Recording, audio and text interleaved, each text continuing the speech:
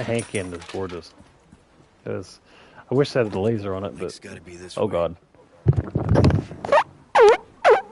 What was that?